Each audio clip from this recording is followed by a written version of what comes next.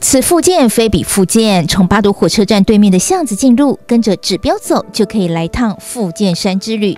旁边这边就是刚好是火车站的位置，所以你看它这个以前是一个制高点，像当初侵法战争，他们就是打就是打到这个地方就停住了。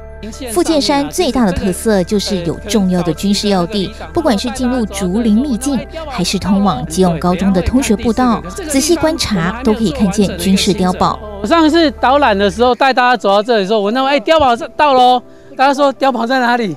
碉堡在哪里？实际上它就在你的脚下。沿途山径步道都设有解说牌，丰富的生态及历史文化从中可一窥究竟。这这棵树啊，就是你看那个皮都已经被剥落了哈。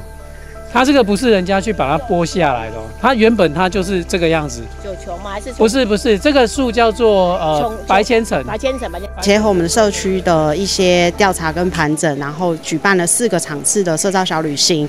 那今天是第一个场次，是我们走我们富建山跟我们的意见社区。内政部营建署的社区特优奖，荣获最高荣耀，主要也是赋予环境新生命。是一个环山的步道，那看到的严家古厝，看到以前以以前的历史，我觉得很感动，因为觉得在这里面呃这么大多的时间里面，我们可以看到出一个呃时代的传承，然后我们也看到历史的风貌。呃，觉得蛮感动的啦，因为就是从社区啊，就是这么有很脏啊、很脏乱的的地方，那可是重点是透过大家一起投入，然后一起参与，然后付出实际行动，然后把整个社区变得更好。靠双脚走进山，想走多远多高，全是选择，像极了人生缩影。而这一条神雕帕麻步道，展现的是社区营造的精神。